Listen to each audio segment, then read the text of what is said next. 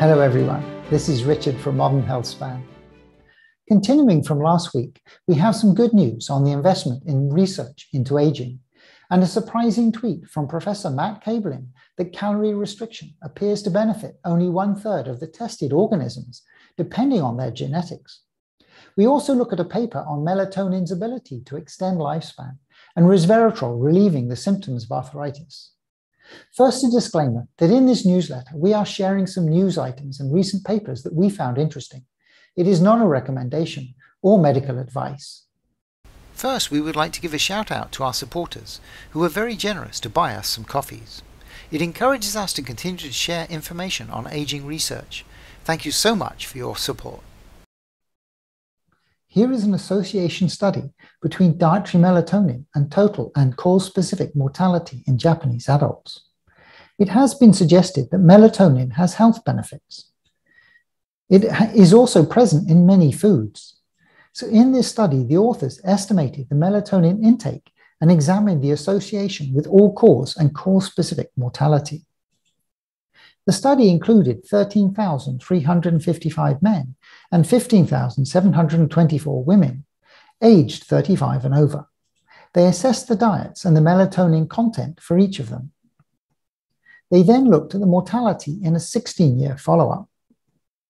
A total of 5,439 people had died, and melatonin intake was significantly associated with decreased risk of cardiovascular and non cancer, non cardiovascular mortality after controlling for covariates.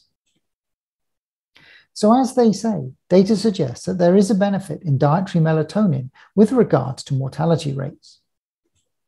So, the next question would be what foods are high in melatonin? It seems walnuts, almonds, bananas, oats, rice, and tart cherries are some of the key foods that are high in melatonin. So, yet another reason to eat healthy nuts.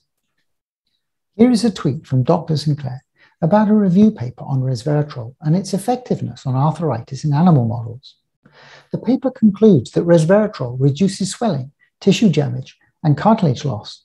Let's have a quick look at the paper. Here it is the pharmacological assessment of resveratrol on preclinical model of rheumatoid arthritis through a systemic review and meta-analysis.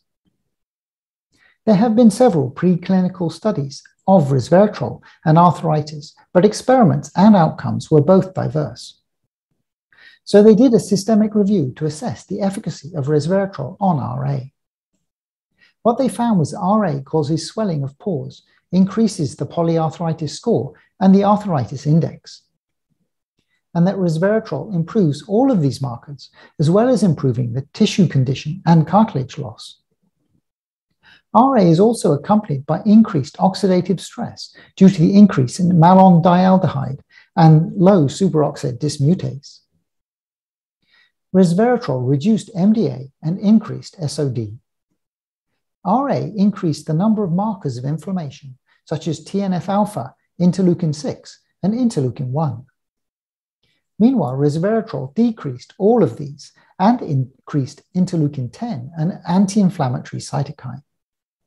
So their conclusion was that resveratrol could be a clinically effective therapy for RA.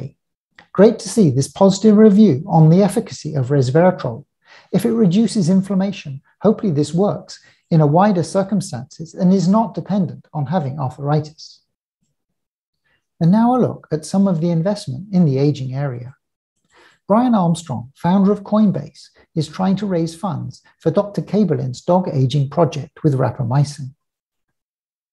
He says they need another 2.5 million to get a statistically significant result. He has put some money in, but they are still short 200k. And Richard Heart, who is a another crypto investor, jumped in to say that he would provide the last 200K. So it is looking good for Dr. Kaeberlein's trial. Also on crypto donations to longevity research, Vitalik Buterin, founder of Ethereum, donated 1,500 ETH, whose current value is about 5 million, to longevity impetus grants. Who are impetus grants? Their aim is to support bold longevity research in a fast and effective manner. This is from their webpage, where they say that they are offering grants of up to 500k and the decision will be made within three weeks. They want to support projects which drive forward our understanding of aging. They also encourage both positive and negative results to be published. It is great to see investment going into an organization which is first and foremost focused on researching in aging and has such an open minded view. Please spread the news out if you know anyone or any organization who would be interested in applying for a grant with them. For more details, please see their website. Here is a tweet from Professor Matt Kaeberlein, which totally shocked me. Calorie restriction appears to shorten the lifespan in one third and increase the lifespan in one third, depending on the genetics of the organism, all the way up to mice. I thought CR was the gold standard for longevity and nearly always increased lifespan. There was some discussion on Twitter, and Professor Kaeberlein said that he was working on a review and provided links to some of the original articles. We will watch for his paper as it looks to be super interesting. This is Edith Murway-Traina, who is a powerlifter and a holder of the world record as the oldest female competitive powerlifter. She is 100 years old and can deadlift 165 pounds, which is about 75 kilos, and bench 65 pounds, or about 30 kilos. What is even more impressive is that she did not start lifting until she was 91. She has now competed in more than a dozen powerlifting competitions and shows no signs of slowing down. It really does show that it is never too late to get started and to achieve great things. Another quiz for this week. Who are these young people? This is young Dr. Brian Kennedy. And how about this one? Not too hard. This is Dr. Sinclair. And the last one. This one is not so easy. This is Dr. Matt Kaeberlein. These came from a tweet by Dr. Sinclair from some of his old pictures.